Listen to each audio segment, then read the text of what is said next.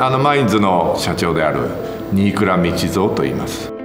えー、っとまあ日本でもあの GTR というのは、まあ、本当に特別な車でですねただ単純にあのモデルチェンジをしてっていうことじゃなくてあのそれぞれみんな日本では愛されてる車でしてそれにこうワールドワイドに販売を可能にした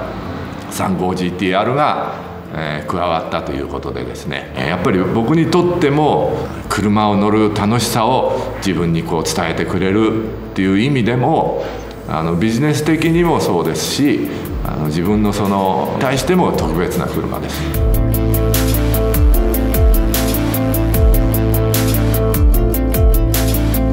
やっぱり刺激が強かったのは 32GTR あまあ強かったですよね。えー、まあそれとそうですねやっぱり思い出深いのはまあいろんな記録を出した 34GTR であったり、まあ、あとはこう 35GTR まあそれぞれみんな好きなんでねどれが好きとはなかなか難しいですね。心がけてるのはそのやりすぎないチューニング。要は乗って楽しいただハイパワーじゃなくて、まあ、車全般にそうなんですけども必ずやっぱり綺麗でかっこよくて速い。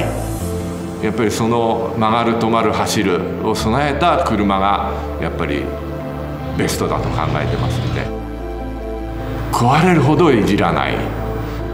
うちにはまあレギュレーションがありまして要はやっぱりノーマルの素材をこう浮き立たしていくようなチューニングっていうことの信念がやっぱり貫かれてるんじゃないかなと、まあ、自分でも思いますね信念のもとに要はブレずにやってるっていうのが誇りなんじゃないかなとは思いますけどね。